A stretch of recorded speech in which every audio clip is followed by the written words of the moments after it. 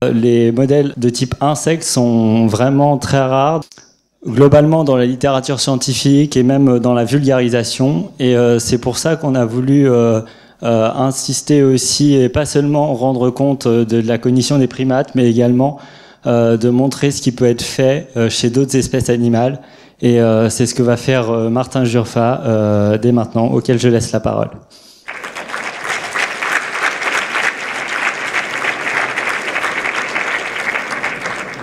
Merci beaucoup Maxime. Je tiens surtout euh, à te remercier, à remercier les étudiants de Cognivance. J'ai découvert effectivement que cette manifestation était organisée par des étudiants et je salue fortement ceci. Je trouve absolument remarquable. Et euh, donc c'est un véritable plaisir que d'être ici pour vous raconter certaines des recherches que nous faisons depuis que nous sommes dans euh, ce parcours de comprendre la cognition et le fonctionnement cérébral, la plasticité, l'apprentissage et la mémoire à partir de certains modèles invertébrés.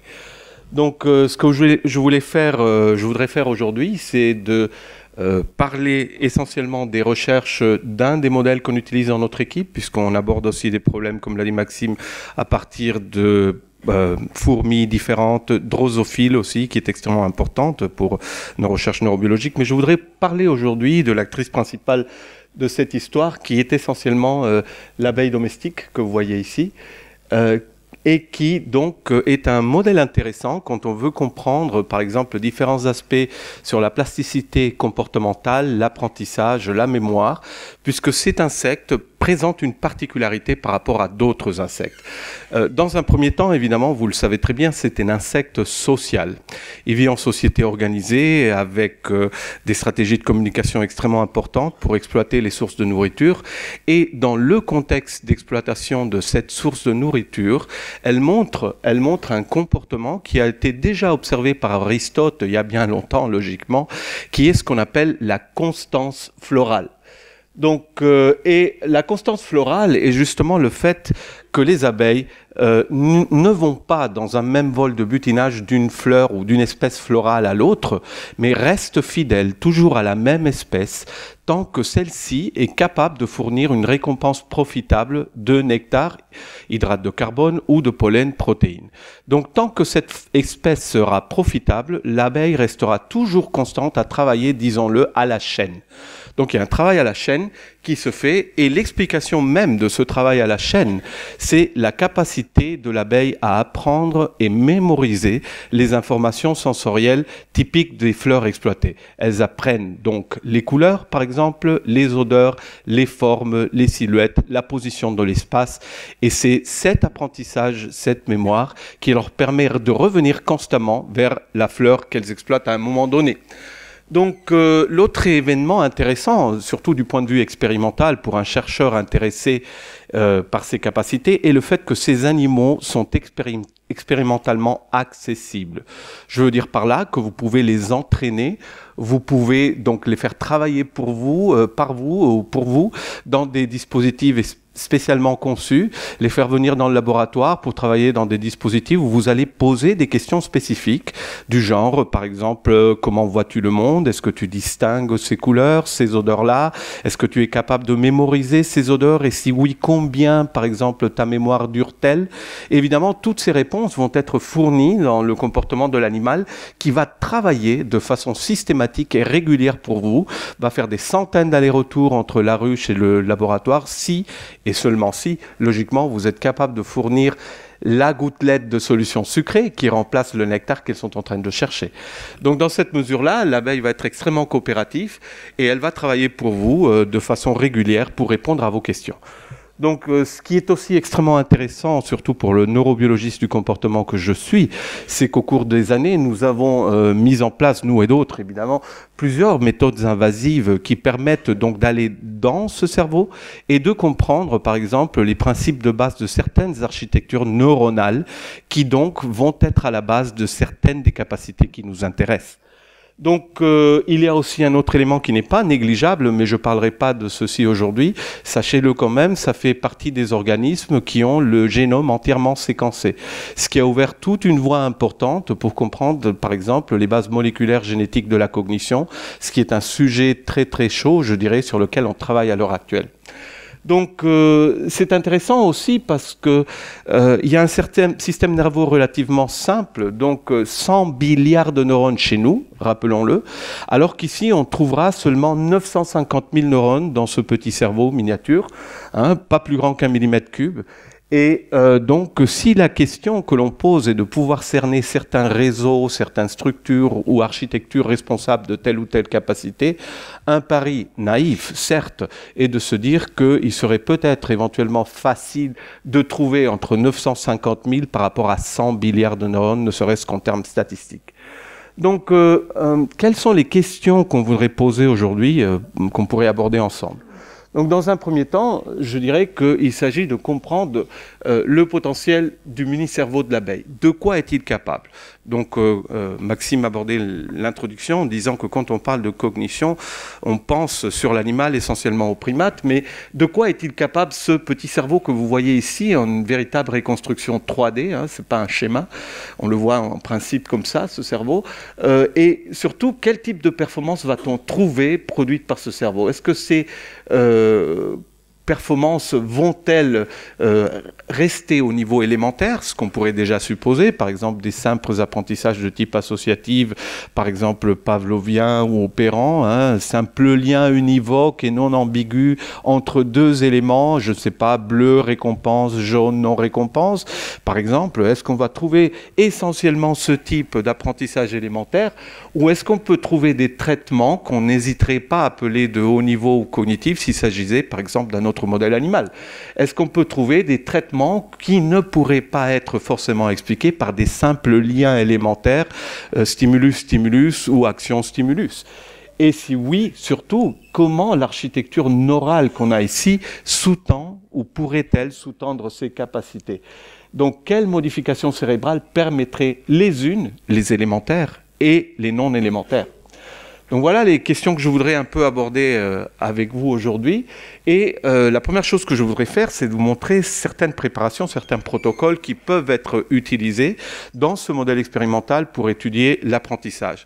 Je commencerai par un apprentissage associatif simple, certes, et j'essaierai par la suite de complexifier cette situation. Donc, euh, je voudrais vous montrer un protocole pour étudier l'apprentissage olfactif associatif chez l'abeille, qui est le fameux protocole du euh, conditionnement de l'extension du proboscis. C'est un protocole qui utilise une abeille immobilisée et donc vous allez voir que néanmoins, malgré la situation artificielle d'immobilisation, l'animal est capable de fournir des réponses qui montrent l'existence de l'apprentissage et la mémoire. Donc, euh, je vous disais que c'est le protocole de conditionnement olfactif du réflexe d'extension du proboscis. Qu'est-ce que ceci veut dire? Tout simplement que les abeilles ont un proboscis, c'est-à-dire une trompe, la langue, tout simplement, et qu'il y a un réflexe inné, typique, qui se manifeste chez toute abeille affamée. Il suffit de toucher les antennes avec une gouttelette de solution sucrée, ce qui voudrait dire qu'elles ont trouvé quelque chose d'appétitif autour d'elles, pour que ce réflexe ait lieu, boum, le proboscis sort immédiatement il est étiré et donc c'est un réflexe logiquement adaptatif puisque ça veut dire qu'elle cherche la nourriture qui se trouve quelque part autour d'elle. Donc, euh, comment ceci est fait? Donc, euh, vous voyez ici un animal qui est immobilisé dans un petit tube métallique. Vous voyez, il est fixé, rigide là-dedans. Il y a juste la, la tête qui sort, hein, qui est là. Et donc, devant cet animal, il y a un dispositif, un olfactomètre contrôlé par ordinateur, qui permet d'envoyer constamment un jet d'air propre vers la tête de l'animal, dans lequel on peut introduire, contrôlé par ordinateur, un pulse d'odeur qui va être notre stimulus conditionnel, c'est-à-dire une odeur qui pour l'animal à l'origine ne veut rien dire, qui n'est pas connue, qui n'induit pas de réponse appétitive du tout. Donc comment on va donner par contre le sucre? Ben, C'est simple, par exemple méthode primitive ici, petit cure-dent imbibé de solution sucrée qui ira toucher les antennes pour déclencher le réflexe d'extension du proboscis. Donc vous l'aurez compris, ce qu'on essaye d'induire ici, c'est conditionner ce réflexe appétitif en faisant donc l'association ou l'appariement odeur sucre. Donc de sorte que si cet appariement marche, donc l'animal donc doit euh, euh, donc euh, associer odeur et sucre et par la suite apprendre à étirer le proboscis à la présence même de l'odeur qui est pris comme le prédicteur de solutions sucrées. Donc Voilà, donc ce que vous voyez ici est l'animal immobilisé. Vous allez voir un carré rouge qui indique le moment où l'odeur arrive, et cette odeur étant inconnue, ne déclenche aucune réponse chez l'animal particulière, mais maintenant, vous donnez le sucre et vous déclenchez aisément l'extension du proboscis. Vous voyez que l'animal est motivé, il insiste, hein, il veut encore plus, ça lui a plu évidemment, et donc ça veut dire que euh, on a normalement créé en faisant ceci une association de type élémentaire odeur-sucre. Maintenant, en cliquant dessus, Merci Maxime. Donc on voit effectivement la manifestation de l'apprentissage puisque maintenant, à l'arrivée de l'odeur, ici, l'animal étire le proboscis, donc montrant donc qu'il a appris clairement l'association entre odeur et la récompense de sucre. Vous voyez donc que malgré l'immobilisation, malgré la situation entre guillemets artificielle, euh, euh, l'animal manifeste très bien cet apprentissage et ce protocole justement marche parce que l'appétence est importante, l'animal est affamé et évidemment euh, donc le protocole reproduit en partie le contexte naturel de l'association odeur-sucre qu'elle trouve dans les fleurs. Cet apprentissage est, spectaculairement rapide, puisque si je vous montre ici le pourcentage d'abeilles qui répondent avec cette réponse conditionnée à l'odeur, euh, au cours de six essais. Vous avez vu un essai de conditionnement euh, au cours euh, du film. Vous verrez typiquement, si vous employez une odeur que j'appellerais l'odeur A récompensée, A+, typiquement ce type de réponse. Ça veut dire qu'au bout du troisième essai, vous aurez toute votre population d'abeilles qui a pratiquement appris. Si vous considérez que les essais sont séparés de 10 minutes, vous voyez que c'est extrêmement rapide. Ça marche très très bien. Ça génère une mémoire robuste qui peut durer la vie entière de l'animal si et seulement si l'animal n'apprend pas entre-temps autre chose qui viendrait euh, l'emporter sur l'apprentissage précédent. Si vous gardez ces animaux dans une cagette, dans une étuve au noir, et vous les nourrissez, etc., et vous le replacez dans le même dispositif, par exemple, deux semaines plus tard, ce qui est la vie utile d'une abeille butineuse, et que vous leur demandez maintenant, bon, il y a trois odeurs, laquelle a été apprise, typiquement les réponses que vous obtenez sont celles-ci.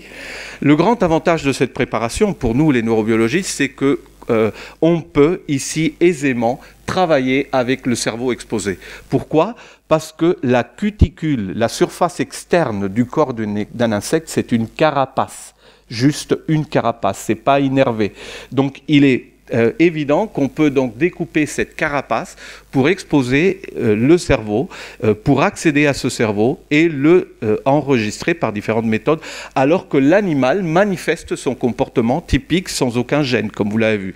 Le seul soin qu'il faudra prendre, c'est éviter la dessécation, évidemment, par exposition à l'air, et c'est pourquoi il faudra perfuser régulièrement. Mais sinon, vous voyez que l'animal donc va montrer le même type de réponse, et donc il est possible d'aller dans ce cerveau que vous voyez ici pour étudier à différents stades qu'est-ce qui se passe, que ce soit par électrophysiologie, que ce soit par imagerie calcique, que ce soit par différents types de blocages pharmacologiques, RNAi, etc. Qu'est-ce qui se passe lors de cet apprentissage et de cette mémorisation? Et pour vous montrer ce qu'est-ce qui se passe, j'ai choisi simplement euh, deux petits euh, exemples. Donc je voudrais tout d'abord, puisqu'on parle d'apprentissage olfactif, récapituler euh, rapidement qu'est-ce qu'on a ici dans un circuit olfactif d'un insecte. Donc vous allez avoir les antennes qui sont le véritable organe donc euh, de perception olfactive, ça serait le nez entre guillemets de l'insecte. Et sur ces antennes, vous allez avoir à peu près 60 000 récepteurs olfactifs qui vont donc être impactés par des molécules olfactives particulières et qui, étant stimulés par leurs molécules respectives, vont envoyer donc un signal qui va parcourir tout le nerf antennaire pour arriver au cerveau pour informer la présence d'une odeur donnée. Le premier endroit de traitement va être le lobe antennaire. Cette structure qu'on voit ici, euh, qui ressemble énormément au bulbe, pardon, au bulbe olfactif des vertébrés, et, euh, cette, parce qu'elle est faite de glomérules, comme le bulbe olfactif des vertébrés. Et euh, donc c'est à, ce stade-là, donc au niveau du bulbe olfactif, de, euh, ou du lobe antennaire, qu'on va avoir un premier traitement de l'information, et de là, l'information va partir, traitée, euh, donc vers d'autres centres, comme ce qu'on appelle la corne latérale, ou surtout vers euh, ces grands centres ici en rouge, qu'on appelle les corps pédonculés ou corps en champignon, que vous voyez ici, qui euh, sont réputés pour être historiquement le site de stockage de mémoire à long terme, surtout des mémoires olfactives, c'est ce qu'on pense. Donc, euh, si je vous montre maintenant juste un hémisphère du circuit olfactif, juste cette partie-là, Donc voici ce que vous verriez. Donc le lobe antennaire, hein, la, la, première partie du traitement, les tracts de neurones qui quittent cette structure pour aller emmener l'information olfactive, par exemple dans la corne latérale ici, ou dans ces fameux corps pédonculés. Et c'est là où je voudrais qu'on aille regarder un petit peu. Ça, c'est un corps pédonculé, il y aurait un autre de l'autre côté, logiquement. Et euh, ces corps pédonculés, vous les voyez mieux ici, voici donc une vue frontale d'un corps pédonculé, sont extrêmement intéressants pour nous parce qu'il s'agit non pas seulement de structures olfactives, mais de centres essentiellement multimodaux. C'est-à-dire que ici, vous allez avoir des informations olfactives qui vont arriver ici et là, mais vous allez avoir de façon ségrégée aussi l'arrivée d'informations visuelles ici, d'informations mécanosensorielles, d'informations gustatives. Bref, c'est un véritable carrefour d'arrivée de différents tracts de traitement de différentes informations sensorielles. Or, ce qui est absolument passionnant, c'est que quand vous enregistrez par électrophysiologie les neurones qui quittent cette structure, donc qui serait quelque part ici. Ça c'est l'entrée, ça c'est la sortie. Ces neurones sont multimodales, c'est-à-dire qu'elles répondent à tout odeur, couleur, etc. Ça veut dire qu'ici, dedans, dans ces structures qui sont faites d'un nombre impressionnant de neurones, 170 000 neurones constituent euh, normalement ces, corps pédonculés, il y a des processus d'intégration, il y a des crosstalk, des d'échange d'informations, donc euh, entre ces différents modules qui arrivent de façon séparée dans cette région particulière du cerveau. Donc, euh, ces régions sont réputées pour être le substrat de la mémoire, et je vais vous le montrer, et elles montrent une association étroite avec des systèmes de renforcement et des systèmes d'attention. Vous allez voir qu'il est possible de parler d'attention dans le cas d'une insecte. Je reviendrai sur cet aspect plus tard, euh, puisque bon, il y a euh, tout un système de neurotransmetteurs là-dedans qui va réguler donc euh, tout ce qui soit la signalisation de la récompense et aussi les processus d'attention. Donc, restons sur ces corps pédonculés. Donc, voici encore l'idée. Ça, c'est un cerveau vraiment d'abeille. Là, on est en train de rentrer en profondeur et sortir. Et comme je dis, on va regarder euh, les corps pédonculaires, en particulier les corps pédonculés que vous voyez ici. Hein. Voici un, voici l'autre. Hein. Et euh, si on regarde leur organisation, on les voit mieux ici, ça c'est les corps pédonculés, voici un, voici l'autre, on va détecter qu'il y a une ultrastructure très fine dans ces corps pédonculés. Donc euh, si par exemple on regarderait la région d'entrée, je vous disais que c'est là où arrivent les informations olfactives, visuelles, etc. Donc on verrait en détail que cette région d'entrée des corps pédonculés est faite de microglomérules. Donc voyons-le, voyez, on va faire un détail de cette partie-là. Et là, vous voyez, par exemple, ça c'est la partie olfactive, ça c'est la partie visuelle, par exemple. Euh, bon, il y aura d'autres sous-régions, mais j'ai juste représenté celle-là. Et si je fais encore une fois un détail de cette partie-là, prenons la partie olfactive, là vous voyez bien, je l'espère, hein, les microglomérules. Et voici un microglomérule, vous pouvez aussi réaliser l'échelle 3 microns c'est vraiment euh, euh, minuscule. Et qu'est-ce que cette structure-là? Ici, on a utilisé un double marquage, vous voyez, rouge et vert, pour comprendre qu'est-ce qu'un microglomérule. Et ce que c'est un microglomérule, un microglomérule, on le comprend si on imagine qu'il y a des neurones olfactives qui viennent d'ici là, par exemple, qui apportent l'information ici, et par exemple un neurone olfactif de projection qui viendrait d'ici, qui serait comme ça, et qui sera entouré par les neurones qui constituent cette structure, qui feront ceci. Et c'est ce que vous observez ici. Donc ces boutons synaptiques, donc cette convergence entre ces deux types de cellules, c'est ce que vous voyez ici, et qui forment ces microglomérules. Très bien. Donc Justement, je vous parle de microglomérules parce qu'on a fait récemment une expérience qui montre en quelque sorte comment la mémoire va rendre plastique ce cerveau. C'est mon premier point. Je voudrais qu'on comprenne que ce cerveau, malgré sa simplicité, malgré le fait de venir d'un insecte, est extrêmement plastique et est en train de changer tout le temps avec l'apprentissage et la mémoire. Donc ici, voici l'expérience qui a été conçue par Benoît Ourcade euh, et Jean-Marc Deveau, qui est un assistant dans mon équipe. Donc c'est une expérience qui a utilisé le conditionnement olfactif que vous avez déjà vu dans le film, hein. donc odeur-sucre. Et ce que vous voyez ici, c'est qu'ils ont utilisé cinq fois odeur sucre. Odeur, sucre, odeur, sucre, odeur, sucre, séparé par cinq minutes. Pourquoi cinq? Parce qu'ils le savaient déjà, on le savait déjà, cinq essais, cinq euh, appareillements odeur sucre sont suffisants pour induire une mémoire à long terme qu'on peut récupérer plusieurs jours après. Très bien. Donc, un groupe contrôle, évidemment, est le groupe non apparié qui a exactement la même expérience sensorielle. 5 fois odeur et 5 fois sucre, mais cette fois-ci, les deux types de stimuli sont désappariés. Comme ils sont désappariés, il n'y aura pas possibilité pour cette abeille d'apprendre la relation entre odeur-sucre, il n'y aura pas apprentissage, il n'y aura pas formation de mémoire. Donc ceci sera prouvé parce que trois jours après, ces animaux seront testés pour voir s'ils répondent à l'odeur apprise. Logiquement, ce groupe devrait le faire et ce groupe ne devrait pas parce qu'il ne devrait pas avoir appris quoi que ce soit. Donc, euh, voici ce qui s'est passé. Donc ça, c'est l'apprentissage. Logiquement, le groupe apparié apprend. Vous l'avez déjà vu dans le, graphe précédent. Euh, ceci reproduit la même chose. Le groupe non apparié, logiquement, n'apprend rien au cours des cinq essais. Et par la suite, donc, quand on teste la mémoire de ces deux groupes, trois jours après, au jour 4, on voit effectivement que ce groupe a une très bonne mémoire et ce groupe non. Parfait, jusque-là tout est bien, mais maintenant vient l'analyse de la structure fine des microglomérules dans les corps pédonculés. Donc on a comparé ici les animaux au jour 4, c'est-à-dire une fois qu'ils ont montré qu'ils avaient, oui ou non, la mémoire. On s'est demandé si le cerveau avait changé, si la structure fine des microglomérules avait varié suite à la formation de cette mémoire. Et on a regardé logiquement dans la région olfactive, puisque c'est un apprentissage olfactif, mais on a pris aussi comme contrôle la région visuelle, puisqu'on s'est dit ce n'est pas un apprentissage visuel, donc rien devrait changer dans cette région visuelle. Si changement il y a, ça devrait être ici. Effectivement, voici ce qui s'est passé. On regarde la densité microglomérulaire, le groupe qui n'a pas appris et qui n'a pas formé de mémoire à un niveau basal, le groupe qui a appris et formé mémoire montre une augmentation significative des microglomérules. C'est-à-dire qu'il y a une densité accrue une plasticité manifeste, plusieurs macroglomérules qui se sont ajoutés là-dedans dans l'air olfactif. Si on regarde dans l'air visuel, par contre, aucun changement, logiquement aussi, puisqu'il n'y a pas eu d'apprentissage visuel dans cette situation-là. Donc, quel est le mécanisme possible? On est en train de l'étudier. On pense qu'il y a une synaptogénèse, c'est-à-dire nouvelles synapses qui se forment. Concrètement, ce qu'on pense, c'est que bon, ce cerveau est évidemment plastique, vous l'avez vu. Donc l'architecture synaptique de la région olfactive change et donc on pense que comme la mémoire à long terme dépend de la synthèse protéique, il y a eu probablement une épinogénèse, c'est-à-dire nouvelles épines dendritiques qui se sont faites et qui ont connecté avec les neurones qui arrivent pour générer des nouveaux microglomérules.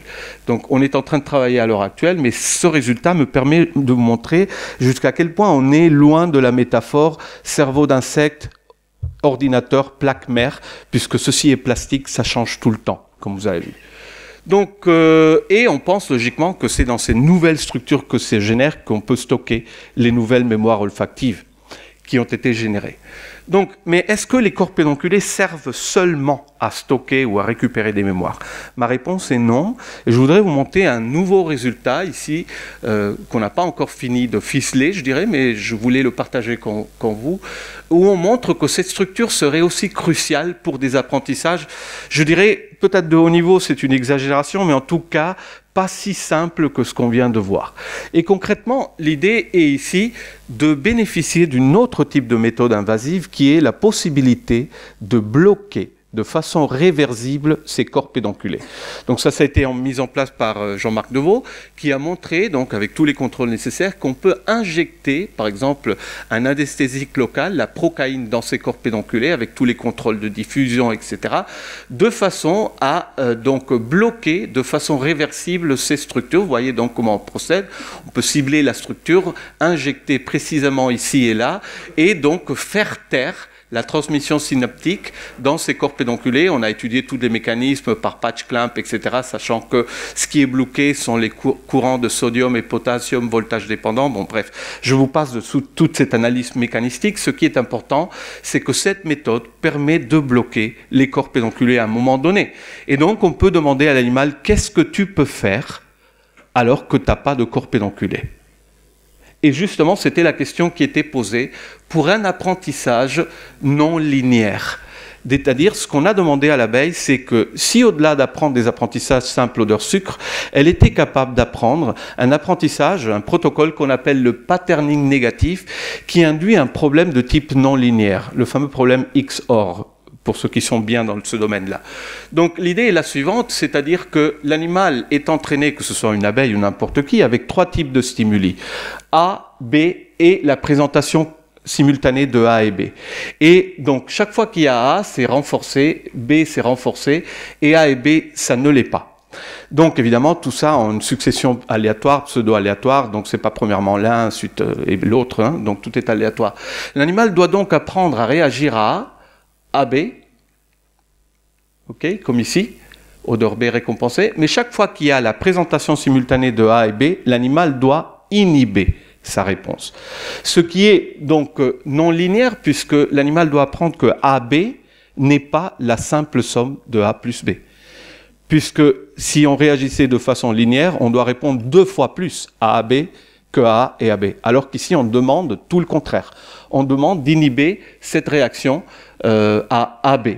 Donc c'est une discrimination que j'appelle aussi ambiguë parce que vous voyez que euh, chaque élément est autant de fois renforcé que non renforcé. A+, A-, B+, B-. Donc l'animal ne peut pas se baser sur l'élément A ou B pour résoudre, il faut vraiment générer d'autres stratégies pour résoudre ce problème.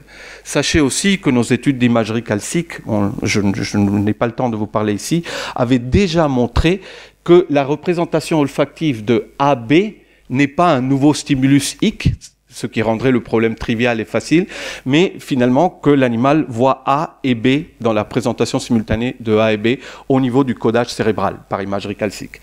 Donc, on demande à l'animal d'apprendre que AB est différent de A plus B. C'est ça la question. Est-ce qu'il peut faire ça?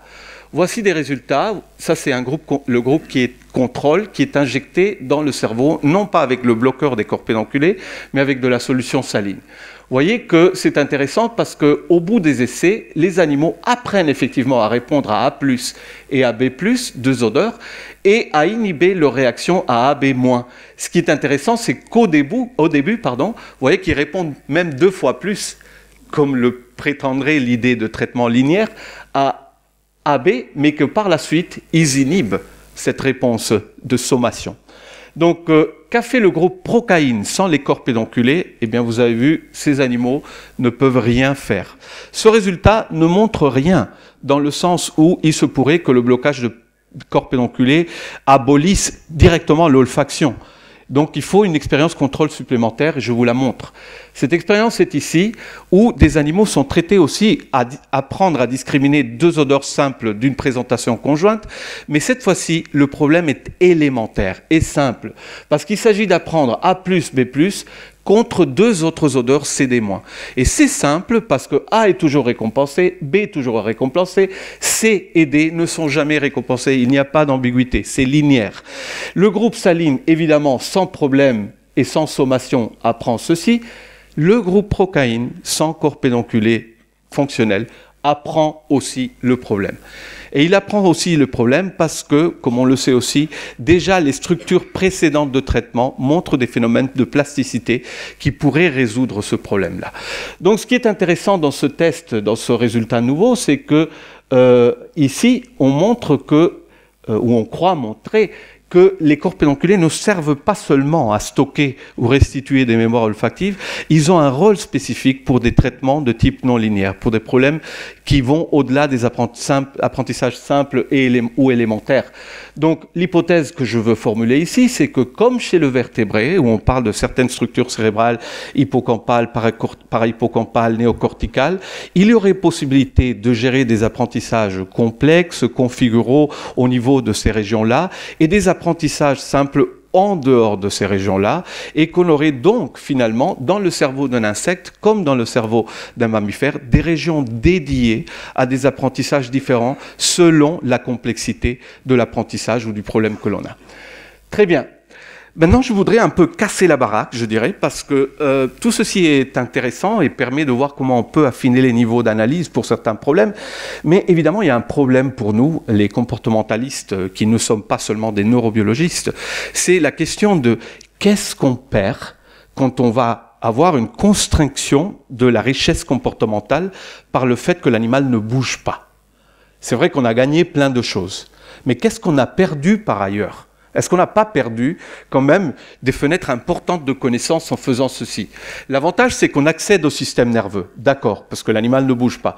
Mais qu'est-ce qu'on a perdu? Et donc voici ce que je voudrais vous montrer de qu'est-ce qu'on perd et pourquoi il faut pour moi toujours avoir le recul de revenir en arrière et de ne pas être obnubilé par les approches réductionnistes, et je suis moi le premier à les appliquer, mais pouvoir faire la combinaison entre approche réductionniste et approche intégrative. Ce que je vais vous montrer maintenant, c'est un autre protocole d'apprentissage chez l'abeille qui est des abeilles, des apprentissages visuels et qui vont utiliser donc des abeilles en libre vol parce que les abeilles dans les tubes immobilisés ne sont pas capables d'apprendre des stimuli visuels discuter après pourquoi. Mais sachez que pour mettre en évidence l'apprentissage visuel, il faut qu'elle puisse bouger librement. Et ceci a été découvert depuis nombreuses années, par exemple par ce monsieur, Karl von Frisch, prix Nobel en 73, qui donc a eu l'idée de marquer les abeilles pour pouvoir les suivre systématiquement et contrôler l'expérience, et a montré avec ceci que les abeilles voient le monde en couleur en posant un petit plat avec de la solution sucrée sur un carton bleu, et voir par la suite que s'il offrait des alternatives achromatiques, les abeilles allaient toujours vers le bleu et ne confondez jamais bleu et gris, comme il était cru à cette époque-là. Donc c'est une expérience qui est une expérience d'apprentissage et discrimination, puisque vous voyez que les abeilles apprennent à associer une couleur particulière à la récompense de solutions sucrées. Donc euh, depuis que ce protocole existe, euh, nous avons essayé de l'utiliser pour répondre à des questions cognitives. Donc, euh, et euh, je voudrais donc poser premièrement cette question-là, puisque j'avais dit tout à l'heure qu'on pourrait parler éventuellement d'attention chez un insecte. Est-ce que les abeilles font attention? Est-ce qu'une abeille peut être plus ou moins attentive selon la situation? Euh, Peut-on parler d'attention dans le cas d'une abeille? Donc, qu'est-ce que l'attention? Donc j'ai déjà vu des posters euh, dehors qui parlent du problème, mais j'ai voulu donc euh, euh, ramener ceci à Mike Posner, donc qui nous dit, avec qui on a beaucoup discuté, qui effectivement l'attention et la capacité à focaliser notre perception sur un stimulus ou groupe de stimuli, tout en filtrant d'autres stimuli simultanés qui sont moins pertinents pour le moment où la tâche considérée. Donc il y a cette notion de filtrage et de focalisation sur les éléments qui sont donc euh, prédicteurs ou importants pour la réalisation de, la tâche. Donc euh, je voudrais vous montrer une expérience qui a été faite donc à l'origine pour montrer une capacité de catégorisation visuelle chez l'abeille, mais qui nécessite forcément d'attention et de filtrage d'informations donc accessoires. Donc, euh, on a voulu savoir si les abeilles donc, euh, peuvent catégoriser des stimuli en fonction de leur symétrie bilatérale. Donc, des stimuli présentés verticalement qui ont donc soit une symétrie bilatérale, comme cette fleur, soit qui ne l'ont pas. Donc, euh, est-ce que les abeilles peuvent-elles être entraînées à catégoriser ces stimuli en base à cette information exclusivement? Est-ce qu'elles peuvent extraire d'une succession d'images différentes que symétrie ou asymétrie est l'information à laquelle il faut prêter attention pour obtenir la récompense? Voici comment ceci est fait. Ça, c'est un exemple d'une abeille. Hein. Mais sachez que cette abeille arrive au dispositif en volant de la ruche au laboratoire et elle va voir sur une paroi verticale toujours trois figures. Celle-ci, celle-ci, celle-ci, celle-ci. Donc, dans ces trois figures, il y a toujours une qui est symétrique, signe plus récompensé, et deux qui ne le sont pas. Donc elle va tourner en rond, elle va finir par se poser ici, elle aura le sucre. Elle s'en va. Trois minutes après, elle arrive, surprise, trois nouvelles figures. Et c'est celle-ci qui est récompensée et les deux asymétriques qui ne le sont pas. Et ainsi de suite. Donc tout change tout le temps pour cette abeille qui va et qui vient. Tout change. Le seul critère qui reste constant, c'est que symétrie est récompensée et asymétrie n'est pas récompensée. Donc, euh, euh, et bon, évidemment, ceci a été fait avec plusieurs abeilles, les stimuli changent selon l'abeille, mais l'important c'est de savoir qu'entre ces entraînements, on va intercaler des tests, des tests qui ne présentent pas de récompense. Ces tests présentent 12 figures, donc soudain elle arrive, il y a 12, pas 3, 6 symétriques et 6 asymétriques. Et là, elle va nous montrer comment elle choisit en fonction de ce qu'elle est en train d'extraire du problème. Donc voici le résultat. Donc vous voyez par exemple qu'il y a deux groupes, un groupe entraîné pour symétrie, comme cette abeille-là, et il y a un autre groupe d'abeilles entraîné pour asymétrie, c'est-à-dire où il y avait des triades, où il y avait un stimulus asymétrique récompensé et deux stimuli symétriques non récompensés, c'est-à-dire le test l'expérience dans les deux sens. Vous voyez donc que les deux groupes d'abeilles au début choisissent au hasard entre ces stimuli qui ne sont pas renforcés, mais qu'à un moment donné, elles commencent à répondre, celles qui sont entraînées pour symétrie, asymétrie, et celles qui sont entraînées pour asymétrie à asymétrie. Vous voyez donc que c'est intéressant parce que si on reprend l'expérience de la même façon, mais avec des stimuli tout à fait contrôlés, euh, donc fait en MATLAB, même aire, même quantité de pixels, etc., mais même principe, symétrie récompensée, asymétrie non récompensée, nouveaux stimuli test jamais utilisés dans l'entraînement, etc., vous obtenez la même performance. Donc les abeilles entraînées pour symétrie donc, vont choisir à un moment donné symétrie, nouvelles, nouvelles informations symétriques, et celles de asymétrie, nouvelles informations asymétriques. Donc c'est intéressant parce que ces abeilles ont dû filtrer toutes les autres informations, euh, par exemple de bas niveau, euh, euh, orientation, silhouette, etc., quantité d'énergie, des images, pour porter attention à symétrie pour résoudre la tâche.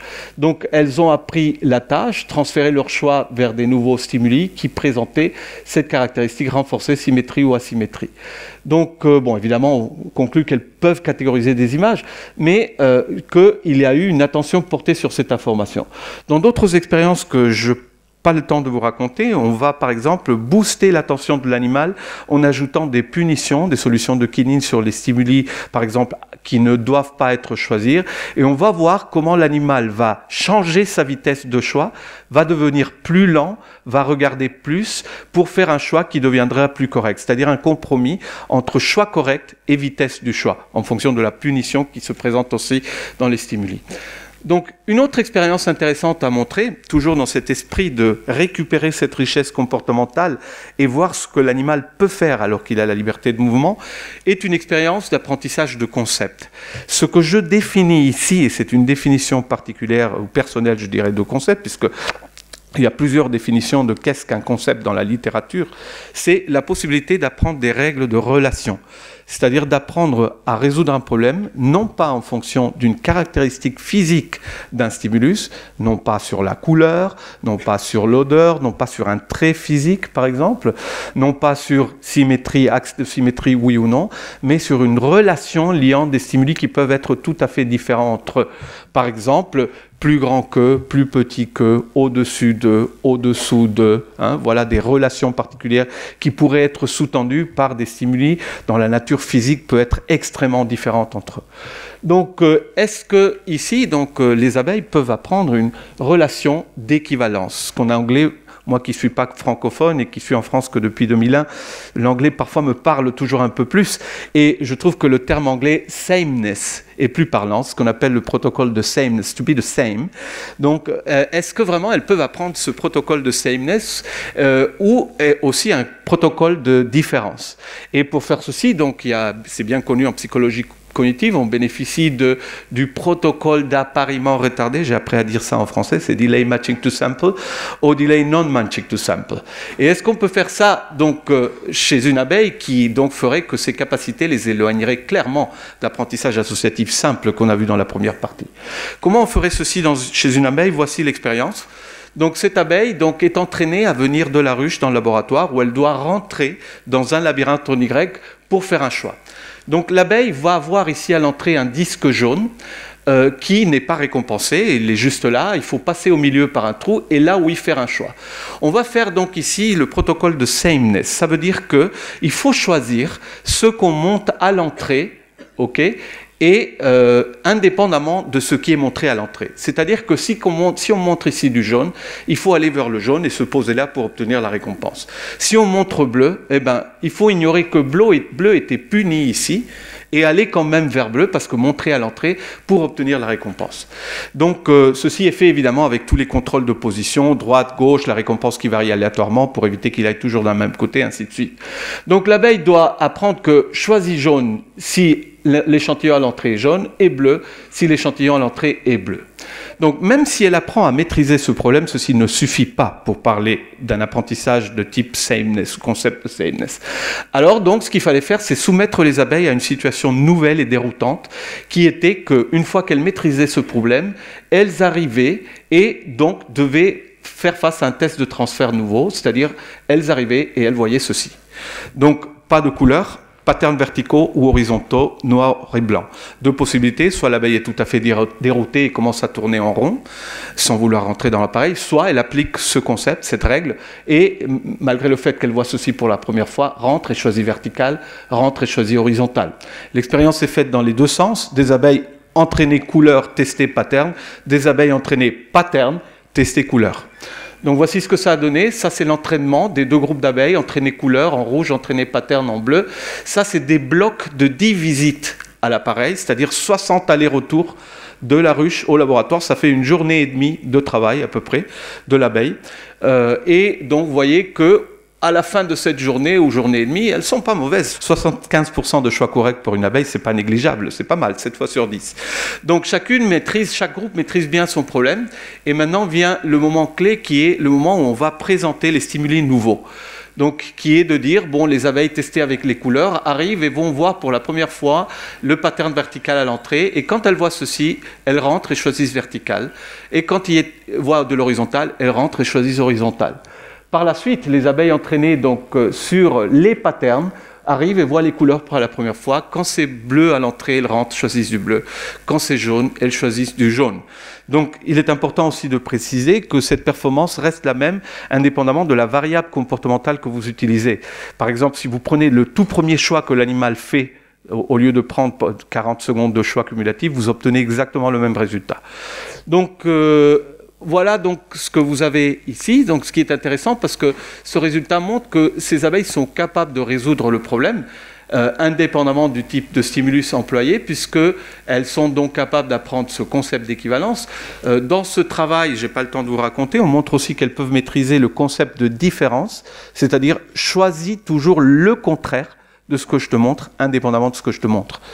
Donc, euh, et entre-temps, depuis ce travail, on a fait beaucoup d'autres articles, notamment avec une de mes thésardes, maintenant postdoc, à Londres, qui a, euh, donc euh, voulu connaître d'autres résolutions de conceptuelles de type au-dessus de, au-dessous de, certains inspirés du travail de Joël Fagot, qui va vous parler après, qui a été extrêmement euh, inspiring de ce point de vue-là, à droite d'eux, à gauche d'eux, plus grand qu'eux, etc., etc.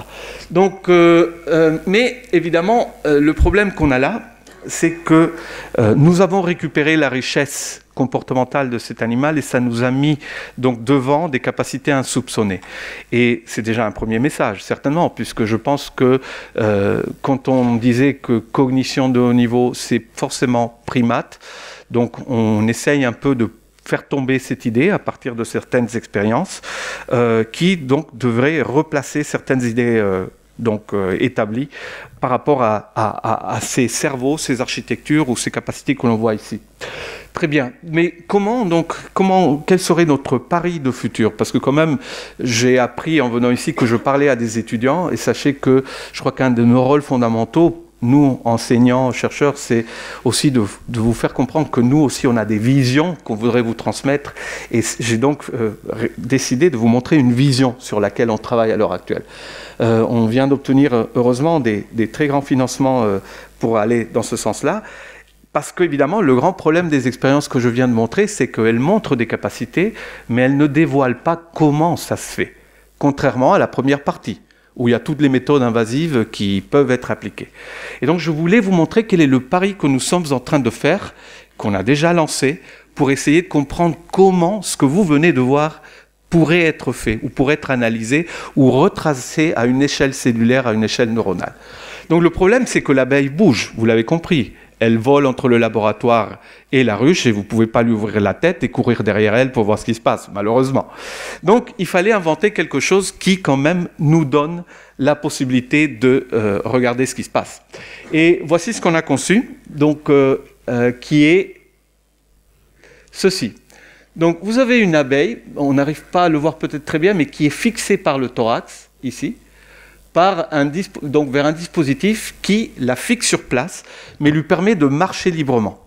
Et elle marche sur une boule de styropore extrêmement légère, donc euh, qu'elle peut déplacer euh, tellement légère elle est, avec ses pattes pendant qu'elle marche. Il y a donc un capteur optique par-dessus qui permet donc de registrer les mouvements de la boule. Donc si l'abeille marche vers l'avant, la, boule va vers l'arrière. Si elle marche vers la droite, la boule va vers la gauche, et ainsi de suite. vous pourrez reconstruire toutes les trajectoires de l'abeille dans cette condition-là. Donc l'abeille donc, ne peut pas euh, s'échapper puisqu'elle est fixée sur le mais elle peut marcher, elle peut aller à droite, à gauche librement.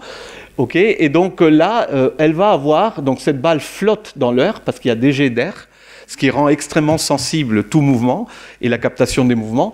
Et ce qu'on fait, donc, c'est par exemple ceci. On a une arène visuelle autour de cette abeille où on peut présenter des stimuli et donc l'abeille est là, elle est fixée et elle va faire des choix, elle va être récompensée pour des choix, etc.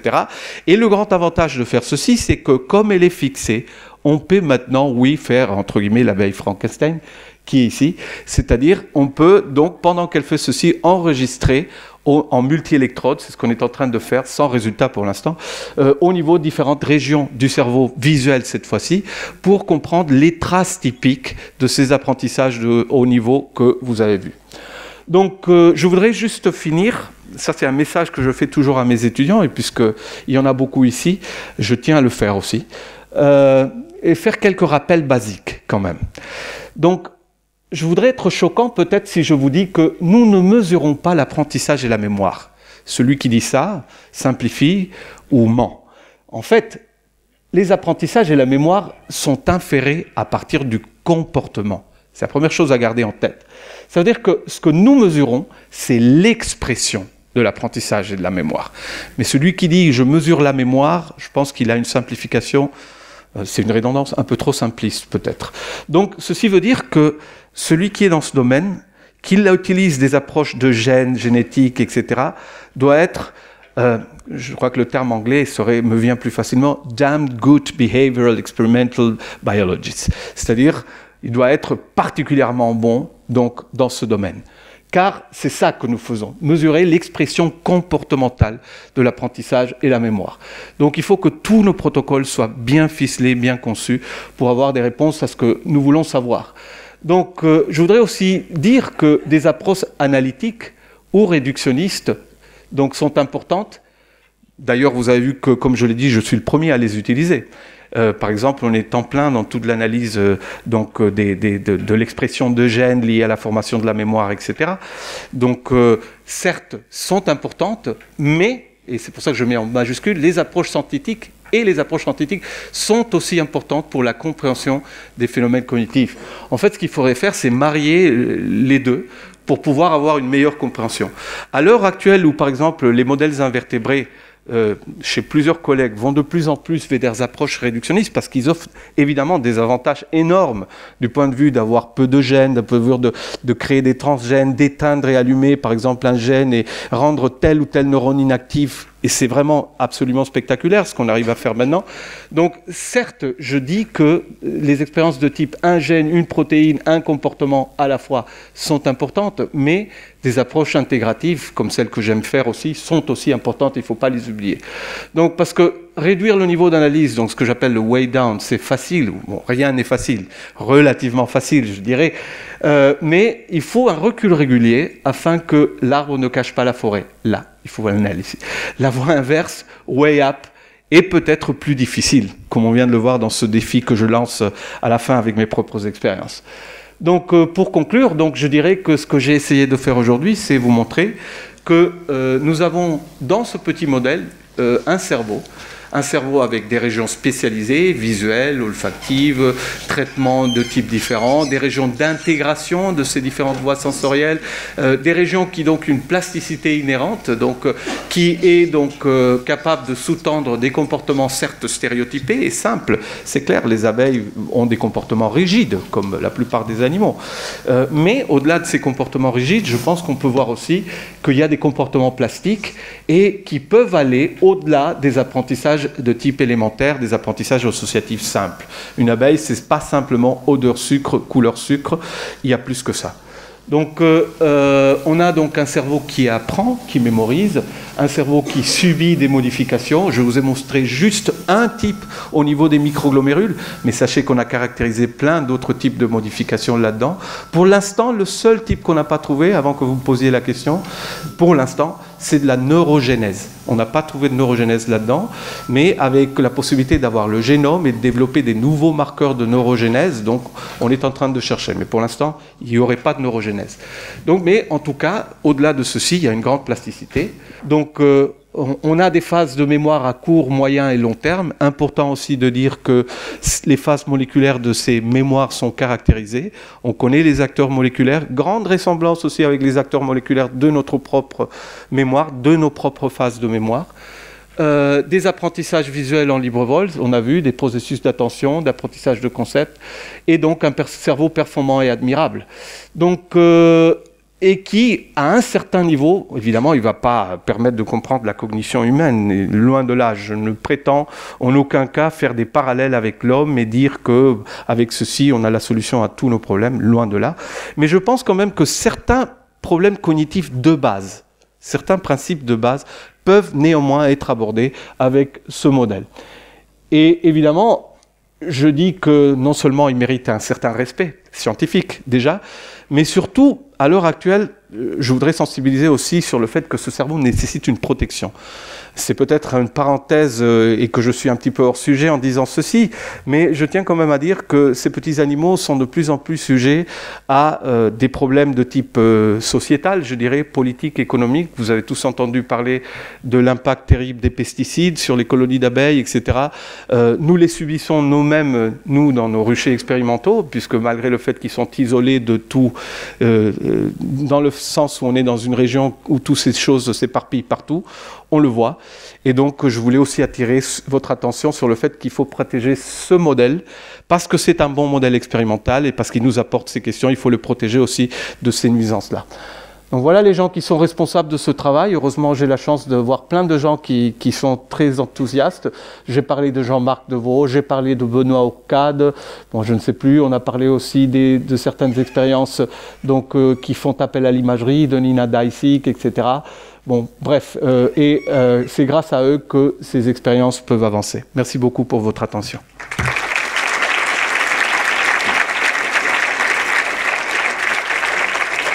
Merci beaucoup, c'était vraiment très passionnant. Euh, donc maintenant, on va prendre des questions. Merci, c'était une question. Est-ce que des expériences identiques ont été menées sur d'autres animaux permettant de déterminer s'il y a une taille minimum? De cerveau permettant des apprentissages complexes Excellente question. Donc, euh, je vais répondre par deux, deux éléments. Euh, certaines expériences ont été essayées euh, chez la drosophile. Et les drosophiles sont bien capables d'apprentissage élémentaire de type odeur, sucre, odeur, punition, comme les premières que j'ai montrées. Elles s'avèrent pour l'instant, pour l'instant, incapables d'apprentissage de plus haut niveau. Et il y a quelque chose d'intéressant à dire là-dessus sur leur cerveau par rapport à celui de l'abeille. Le plan de base est essentiellement la même. Vous allez avoir des structures olfactives, structures visuelles et des corps pédonculés. Néanmoins, à partir de ce que l'on sait jusqu'à maintenant, les corps pédonculés des drosophiles montrent une différence radicale par rapport à celui de l'abeille. Ces corps pédonculés de la drosophile sont unisensoriels c'est-à-dire qu'ils ne reçoivent que des informations olfactives. Et il n'y a pas, comme chez l'abeille, cette multiplicité, cette afférence de différentes voix, cette combinaison, cette sortie multimodale, qui permet peut-être de faire des transferts d'informations d'une modalité à l'autre. C'est peut-être, donc vous voyez, là vous avez un cerveau plus petit, je pense que c'est pas forcément un problème de taille, mais d'architecture qui fait que, par exemple, les unes puissent faire certaines choses et les autres non. C'est une hypothèse pour l'instant.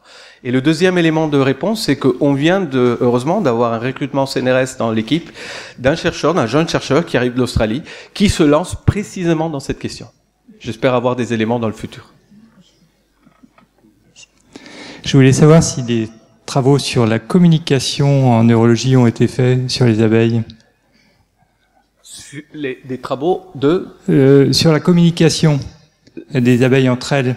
Oui, donc euh, euh, les, les, abeilles communiquent, c'est bien connu par différents moyens, et je dirais qu'il y en a deux essentiellement. Elles ont une véritable bibliothèque de phéromones avec différents messages chimiques qui sont utilisés pour différents contextes et, et, pour passer différents messages, et par le biais de danse, c'est-à-dire des mouvements stéréotypés qui sont utilisés par, pour informer donc la présence de nourriture.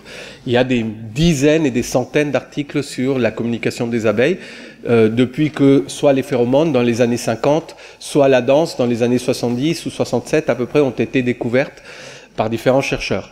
Euh, si la question est plutôt les bases neurobiologiques de ces. Je crus comprendre que c'est ça la, la, question. Oui, c'est ça. Hein. D'accord. Donc, si, si la question sur les bases neurobiologiques, je dirais que sur la communication phéromonale, oui. On a fait nous-mêmes beaucoup d'études sur la question est-ce que les phéromones ont un traitement différentiel dans le cerveau par rapport à d'odeurs communes? Est-ce qu'il y a des voies privilégiées de traitement pour les phéromones? On dirait que oui. Donc, euh, et effectivement, donc, euh, et ça serait un principe de réponse, effectivement, euh, des circuits particuliers, etc., qui favorisent le traitement rapide des informations phéromonales pour la communication. Si maintenant il s'agit de la neurobiologie des danses des abeilles, pour l'instant, il n'y a rien là-dessus. Bonjour. J'avais deux questions à vous poser. Euh, tout d'abord, quand vous nous avez parlé de votre expérience euh, sur la mémoire visuelle, euh, vous nous avez montré des, des, figures donc symétriques, asymétriques. Et personnellement, j'y ai vu deux biais dans votre expérience. Donc, je pense que ma question est triviale, mais est-ce que les figures symétriques étaient toujours à gauche et les asymétriques toujours à droite Non, c'est bien de poser la question parce que ça me permet d'expliquer avec un petit peu plus de temps l'expérience. Donc ce qu'on a, c'est un, un, disque vertical où les figures sont présentées et les triades sont les trois stimuli sont posés en trois endroits différents. Non seulement ça, c'est-à-dire qu'il y a une là, l'autre là, l'autre là, par exemple, mais le disque on peut le tourner et on le tourne de temps en temps, en remettant les figures évidemment dans l'axe de symétrie, pour qu'elles n'apprennent pas toujours un endroit. Donc les aspects positionnels sont exclus de par la façon dont l'expérience est faite. Le deuxième aspect, c'est l'aspect olfactif, c'est-à-dire que si vous mettez du sucre, ben forcément, elle va repérer la zone où il y a du sucre. Donc deux choses. Première chose, c'est que c'est pas tant le sucre parce que c'est de l'eau sucrée et euh, donc déjà euh, Carl von Frisch quand il a fait ses premiers travaux sur, qui lui ont valu le Nobel a montré que le sens de l'odorat n'est pas capable de détecter. Il n'y a pas d'odeur à l'eau sucrée à moins qu'on ajoute une essence olfactive dans l'eau sucrée. Mais plus important que ça, c'est que ces stimuli toujours toujours sont recouverts par des euh, des disques acryliques parce que plus important que l'odeur de l'eau sucrée qu'elle va consommer, qui ne sera plus là, c'est qu'elle pourrait, elle, donc en marchant sur les stimuli, les marquer avec des phéromones attractifs. Et ce qui est fait, donc, chaque fois qu'elles s'en vont, c'est on nettoie les disques acryliques avec euh, des solvants, etc., pour retirer ces odeurs-là, ou on remplace les disques acryliques pour empêcher toute information olfactive. Mais après, vu que il y a, y a plusieurs abeilles en vol en même temps? Non, jamais. Donc ça, c'est important. Donc euh, euh, ces expériences sont faites toujours avec une seule abeille à la fois. C'est extrêmement important. Je vous rappelle qu'on peut les marquer. Vous vous souvenez que l'abeille était marquée avec un petit point de couleur sur le thorax pour la reconnaître, comme on voyait dans la photo. Et c'est comme ça que c'est notre abeille et on ne permet qu'à cette abeille d'accéder au dispositif. Parce que sinon, il y a une contamination, elle va suivre ou elles vont se suivre, interférer. Et donc, il y a toujours une seule abeille à la fois dans ce type d'expérience, que ce soit dans les expériences de symétrie, dans le labyrinthe, jamais. Euh, et on suit un seul individu à la fois parce qu'il faut logiquement contrôler pleinement l'expérience qu'elle a. Et j'avais une dernière question. Euh, vous dites qu'il n'y a pas de neurogénèse, mais vous nous avez dit qu'il y avait une augmentation des glomérules et qu'il y avait une dendrogénèse. Non, ce que oui, effectivement, c'est-à-dire que ce que je pense, c'est que le fait que cette odeur apprise ou mémorisée peut entraîner, par exemple, une augmentation de l'activité dans les neurones qui informent la présence de cette euh, de cette euh, de cette odeur peut induire éventuellement donc des nouvelles épines dendritiques, mais pas de nouveaux neurones. Je ne parle pas de division cellulaire, je parle de nouveaux épines qui se développent et qui viendraient donc créer de nouvelles connexions avec des cellules qui constituent ces corps pédonculés qui sont déjà là. Donc, les microglomérules, c'est justement le point de contact entre ces épines qui arrivent et des nouveaux et, les cellules qui constituent ces, ces, corps pédonculés. Donc pour moi, il n'y a pas de nouveaux neurones, c'est simplement des nouvelles épines dans les mêmes neurones qui se créent et qui vont être prises par d'autres cellules qui sont déjà là pour générer des nouveaux microglomérules. Mais non pas qu'il y a eu division cellulaire pour créer des nouveaux neurones. Mais pour l'instant, c'est une hypothèse. Euh, vous avez dit que l'abeille pouvait apprendre euh, assez vite et euh, pour toute la vie, la tâche. Euh, sauf si elle devait apprendre un nouveau modèle après. Donc je me demandais ce qui se passait quand on changeait de tâche. Donc par exemple, si on passe d'une reconnaissance de symbole à une tâche de similarité. Euh, j'ai pas fait cette expérience, mais une expérience typique qu'on a faite, c'est l'expérience d'inversion de consignes, reversal learning, qui marche très bien. quelque part, ça doit y être, mais dans l'olfactif. Donc, j'ai pas de réponse à votre question, mais je voulais vous montrer ceci pour vous montrer jusqu'à quel point c'est rapide. Voilà. Donc vous voyez que ça c'est un apprentissage olfactif simple, typique. Ok, vous voyez que l'abeille est entraînée avec deux odeurs, une odeur A récompensée, une abeille B, ça c'est dans l'extension du proboscis. Vous voyez qu'elle apprend très bien à répondre à A et pas à B. Et par la suite, on fait l'inversion de consigne. Et vous voyez que très rapidement, donc euh, 3-4 essais, elle va inverser cette information, ce qui est logique aussi dans sa biologie, puisque comme je disais, ces abeilles travaillent à la chaîne jusqu'au moment où une odeur n'est plus, ou une fleur n'est plus profitable.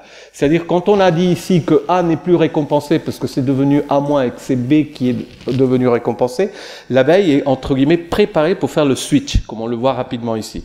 Donc sur cette expérience concrète, je n'ai pas malheureusement d'éléments de réponse parce qu'on l'a pas faite, mais euh, je peux quand même vous dire que la possibilité d'inverser ce qu'elle a appris existe, que comme on le voit ici, que c'est, je pense, à la base même de sa biologie pour pouvoir changer d'une espèce florale à l'autre. Et donc, pour répondre à cette question, il faudrait faire l'expérience. Mais que cette capacité existe, elle existe.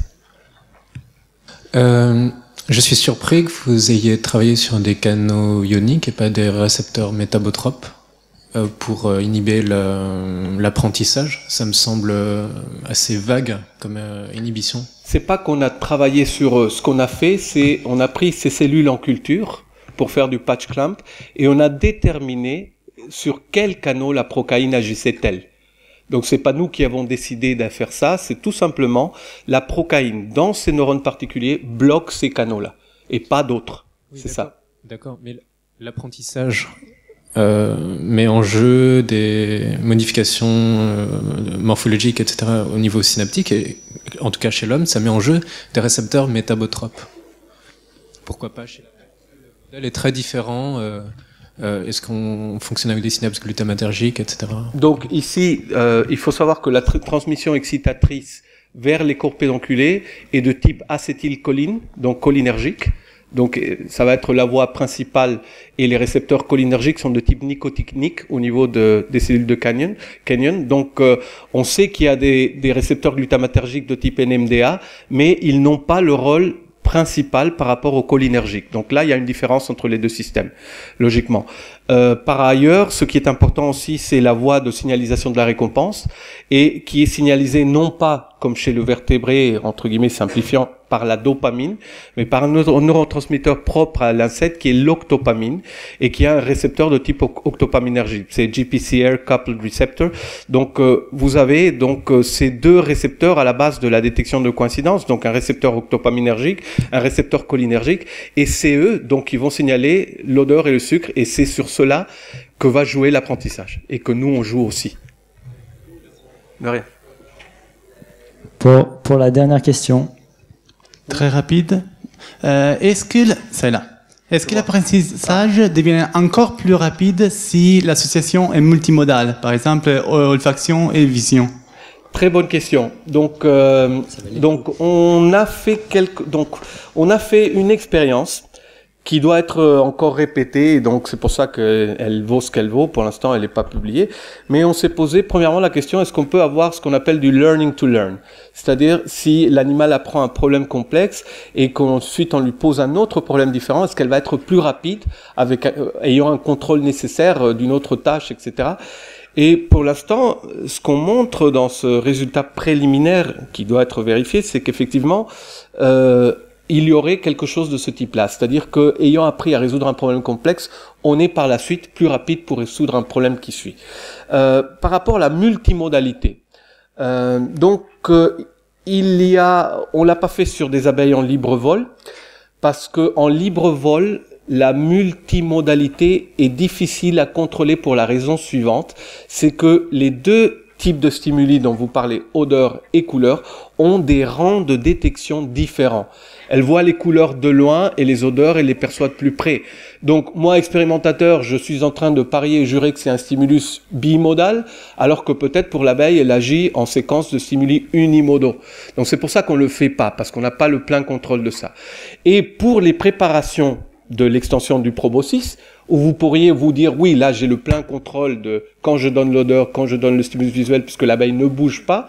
Le problème, comme je disais en passant dans ma présentation, c'est qu'elle n'apprend pas les stimuli visuels. Donc apparemment, euh, elle aurait besoin pour apprendre à associer stimulus visuel et sucre, récompense, du mouvement. Mais c'est là où on a trouvé une solution, donc euh, dont j'ai pas parlé. Euh, c'est qu'on a mis en place un nouveau protocole qui utilise un autre type de réflexe qui est l'extension du dard. Voilà, c'est ça. Donc euh, l'abeille est fixée, elle reçoit une odeur et euh, on associe ça avec une très léger choc électrique qui ne nuit pas l'animal parce qu'après on le libère, ils peuvent s'en aller tranquillement, mais qui induit un réflexe qui est l'extension du dard ici. Et donc là, par contre, ce qui est intéressant, c'est qu'on a découvert qu'on peut les conditionner avec des odeurs et des couleurs. Donc maintenant, on s'est lancé dans la bimodalité ou multimodalité en utilisant ceci.